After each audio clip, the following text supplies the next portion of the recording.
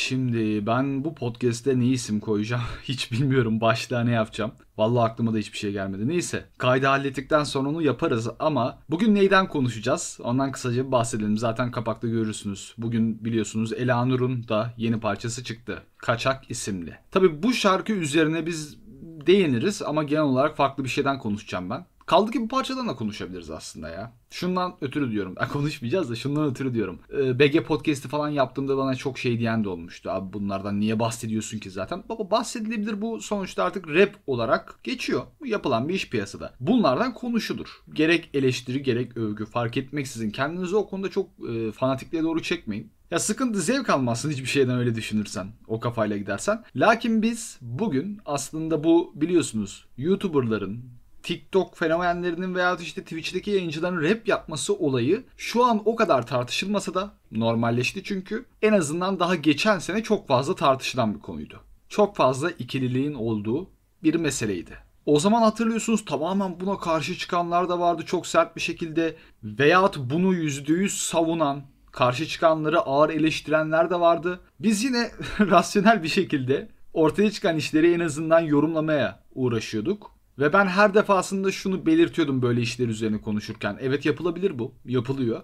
Lakin şöyle bir şeyin eksiği var. Bu sadece benim gördüğüm kadarıyla rap popülerleştiği için piyasaya atılmak amaçlı yeni bir seçenek olarak görülüyor. Ve aslında içinde gerçekten bir heves olmayan veya bununla ilgili bir geçmişi olmayan herkes geçmişi olmak da Bununla bir geçmişi olması bir şart değil kesinlikle. Lakin etki ediyor biraz görüyorsunuz. Herkes buna atılıyor. Neyden destek alarak? Hala hazırda sosyal medyada kazandıkları fenomen kimliğinden destek alarak bunun rahatlığıyla cübba bu işe giriyor. Ben bunun sıkıntısını gördüğümü söylüyordum. Bu neye etki ediyor? Bu neye etki eder şimdi? İmkanların çarçur edilmesine, ruhsuz bir müzik anlayışının ortaya çıkması, estetik durmayan bir müziğin yaratılması vesaire vesaire böyle gidip duruyor. Bunu da örneğini nasıl gördük? E şu an hani ilk çıkan YouTuber'ların işlerini düşünürseniz veya TikTok, Twitter, e, şey Twitter demişim. Twitter'dan var mı? Fenomen olup rap yapan. Onu görmedim bak şu an aklıma geldi ama yok herhalde.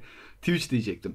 Twitch'lerin işlerinin ilk baştan bugüne kadar geldiği noktaya bakarsanız ortada gerçekten içinize tamamen sinen Hani bu olmuş bak ben bunu kaliteli rap müzik klasmanına koyarım diyebileceğiniz işler varsa bile belki vardır.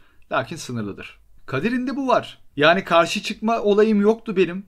Niye karşı çıkayım? Herkes istediğini yapıyor piyasada. Lakin bunun geçmişi nereden geliyor bu merak?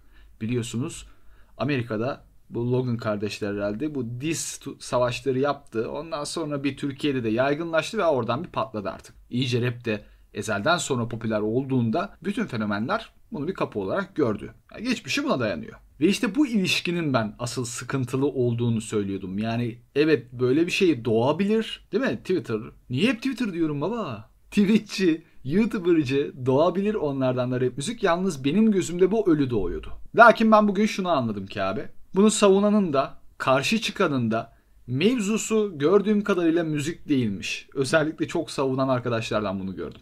Elanur'un parçası üzerine şimdi birazcık konuşalım. Kaçak parçası. Benim parçayı dinledikten sonra beklentim şuydu. Rap dinleyicisinde artık bu uyanışın yani baba bak yolunda gitmiyor belli hani bu projeye baksana bir. Bunlar bu işi beceremiyor tarzında bir yaklaşımda bulunmasıydı. Şimdi YouTube yorumlarına bakacak olursanız YouTube yorumları hiçbir zaman sekmez her daim böyle işlerde tamamen rap dinleyicisi değil genel internet kullanıcısının nabzını tutup eğer övülecek bir şeyse YouTube yorumlarında övülür. Eğer gömüleceği hissediliyorsa da insanlar gömer. Bir kıstas değil bizim için YouTube yorumları.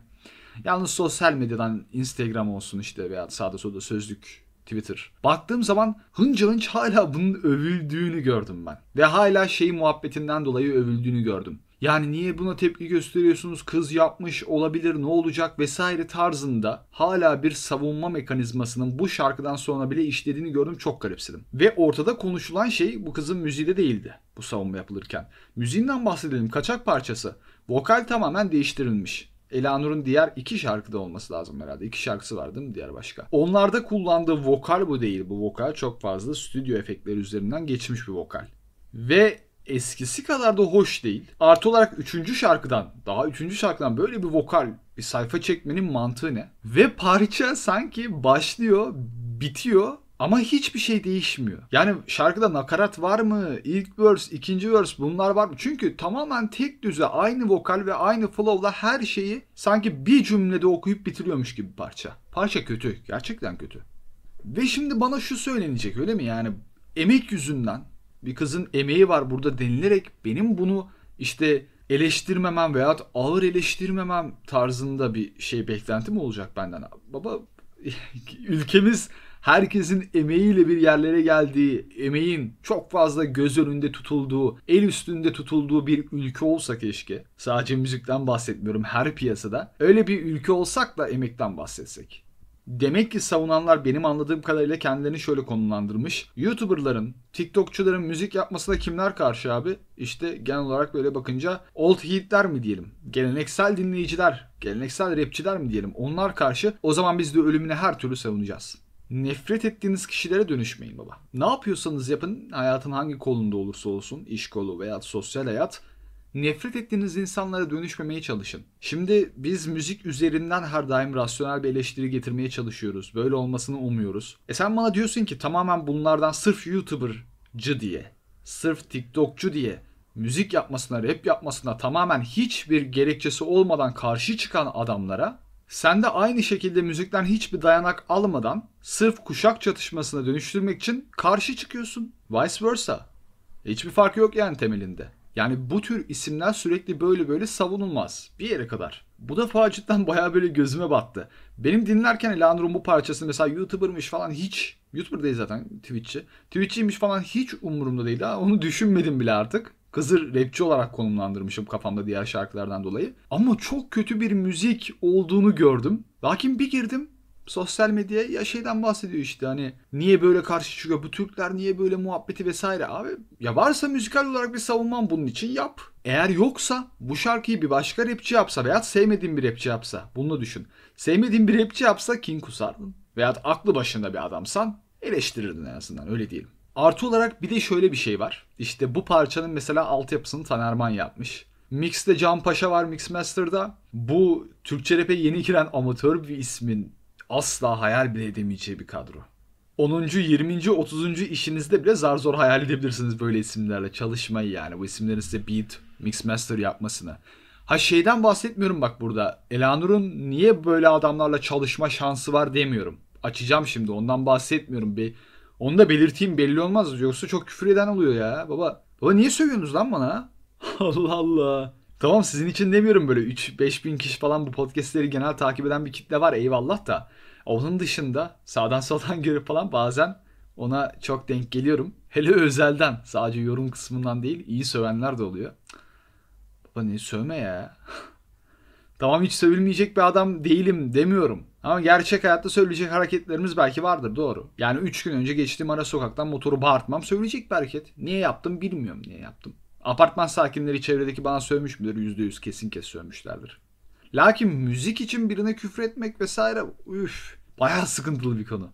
Öyle bir şey yapıyorsan yani kendinde bir sorun ara. Neyse şundan bahsedecektim. Elanur'un bu isimlerle çalışma şansı bulması değil mesele. Tamam belli ki bulmuş. Endüstri böyle ilerler zaten. Kaz gelecek yerden tavuk esirgemez kimse.